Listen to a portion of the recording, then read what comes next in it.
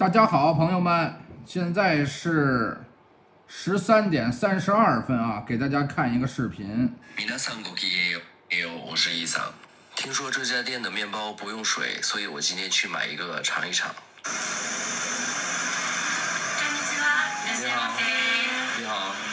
哎，你你们这里呃什么面包比较好吃啊？呃，你你推荐一下什么面包比较好吃啊？パン屋さんです。啊，我知道，你你给我推荐一下，比如说呃你们这里最好吃的面包是什么？日本語話せますか？啊，我我我会说日语，可是我现在不想说。呃这个怎么样？这个好吃吗？这个ハニートースト。 这个好吃吗？你喜欢吃吗？要不我现在给你买一个。 What？这个看起来，你你你你喜欢吃吗？百八円です。哦，还挺便宜的。哦，ありがとうございます。不用水的吐司，嗯，回家尝一尝有没有妈妈的味。对。嗯，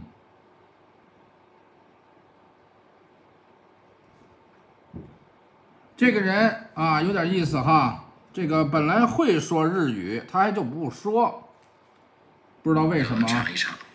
日本語話せますか？啊，我我我会说日语，可是我现在不想说。米娜桑狗也有，我是伊桑。听说这家店的面包不用水，所以我今天去买一个尝一尝。这个人不就在日本吗？他会说日语，为什么不说呢？是吧？你像我们在西班牙， 我们可不跟人较劲，我们能说点简单的西班牙语，都跟人沟通啊，是吧？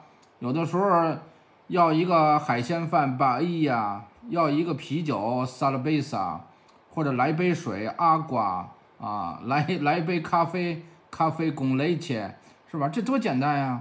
这又上升到民族情绪，骗点击量吗？是吧？炒作这个有什么意思啊？对吧？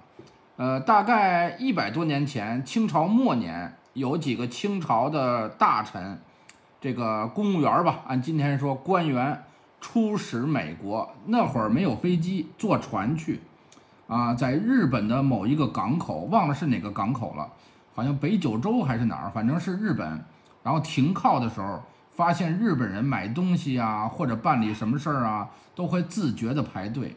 当时的大臣好像就很感慨，好像还要提醒清朝的，当时有太后有皇帝，说日本了不得，一定不要小瞧日本，好像专门写了一个奏章奏折，是吧？人家日本的文明程度当然比中国人高多了，不过呢，也有一个北京人啊，他去日本去了快二十年了，十七八年了，也入了日本国籍了，可是现在天天吹中国好。啊，天天这个给这中国的领导人舔菊啊，因为他娶了一个中国人，是河南省军区大院的一个女的啊，然后受他影响，关键是他没钱，他穷，然后那女的在大陆还有房产，所以他就一再的就是受那女的影响，那女的也在日本，嫁给他之后也在日本啊，这个中国人结了五次婚，然后第四次婚姻是一个日本人吧，差点把那日本女的给掐死。啊，这个人很恶劣的啊。然后他说日本人也没那么文明，说日本人经常告密，互相之间说这个日本的这个这个同事之间互相告密啊。他说的。不过这个人呢，开大货车，开大货车呢，呃，他不系安全带。他说他高，他说他高，别人看不见他，所以他就不系。我听了这个之后，我觉得这个人很差劲，因为。我们系安全带，我们遵守规则，不是为了别人，是吧？不过他说日本人在乡下的某些地方，道路上也能看见一些垃圾什么的，这我相信可能有。但是总体来说，日本人的文明程度还远远超过中国人，是吧？远远超过，这个没办法啊。今天如果日本跟中国再开战，这个除非中国丢原子弹，否则还得让人打一个稀巴烂。是吧？合辙押韵吧？哎，今天如果再开战，是吧？除非你用原子弹，不然的话还得让人打一个稀巴烂，是吧？说的没错吧？